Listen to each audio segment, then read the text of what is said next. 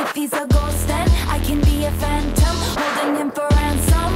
Some, some boys are trying too hard. He don't try at all, though. Younger than my exes, but he act like such a man, so I see nothing better.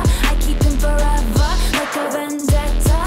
Da, I, I, I see how this is gonna go. Touch me in your